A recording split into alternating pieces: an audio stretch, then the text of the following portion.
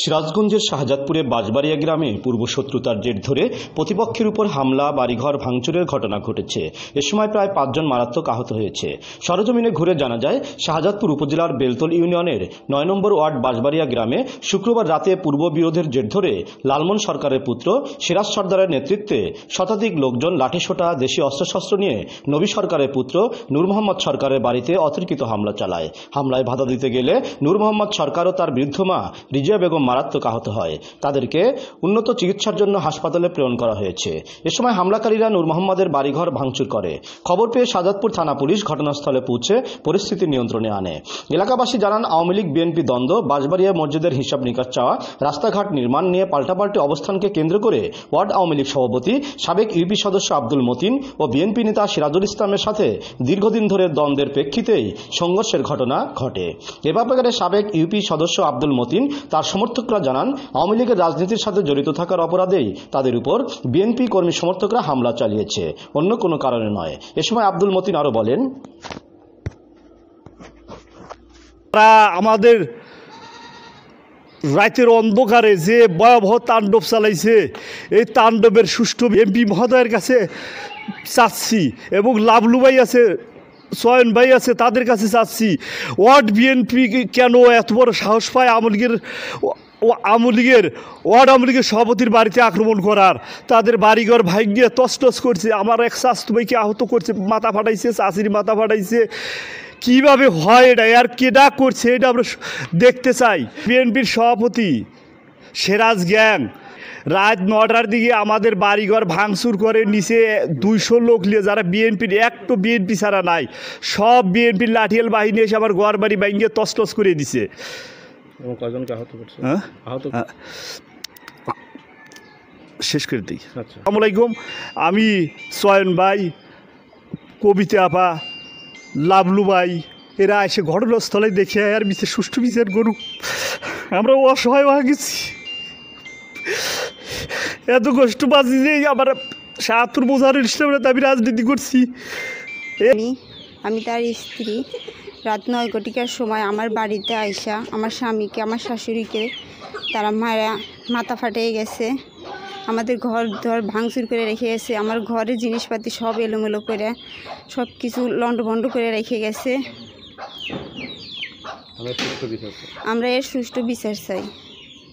হ্যাঁ।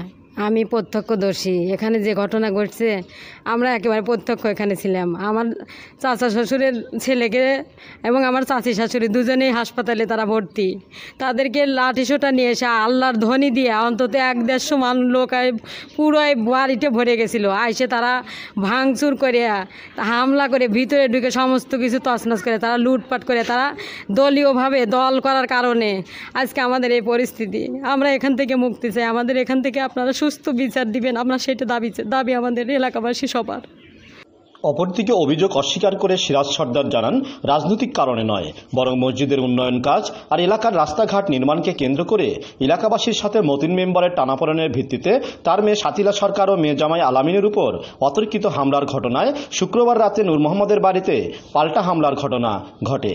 সিরাজ সর্দার আরও জানান এখানে আমাদের যে পারিবারিক একটা মসজিদ আছে ঈদের দিন।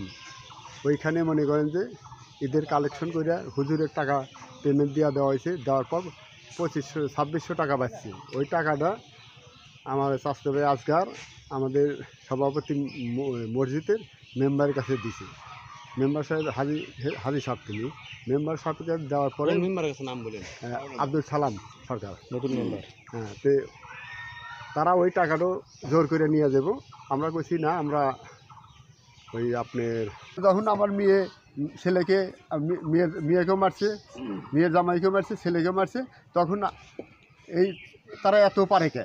সেই হিসাবে তাদের বাড়িতে আমরা গেছি। এটা কি দলীয়ভাবে গেছেন না এমনি? না দলীয় না গ্রামের সর্বসাধারণ চলে গেছে তারা এত পারে কিসের লেগে? সেই হিসাবে সবাই গেছে। তারপরে মনে করেন আনুমানিক কত লোক গেছে? এক এক দেড়শো লোক। আর এক দেড়শো লোকের মধ্যে আমরাই আমরাই হলো একশো। তা আমাদের মনে করেন হেরাজে খালি কয় বিএনপি বিএনপি বিএনপি তো এদেশের নাগরিক। অন্যায় কারা করতেছে? আপনারা সঠিকভাবে সাধারণ লোকের কাছে জানেন যে উশৃঙ্খলা তাকে কারা করাইতেছে।